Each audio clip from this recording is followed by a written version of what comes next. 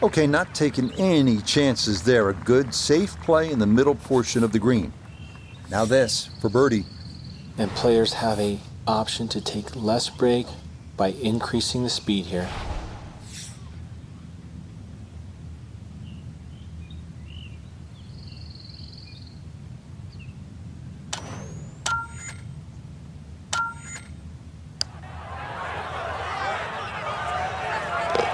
Mm, that's good putt right there. That's a birdie, and it is back to one over now for the round.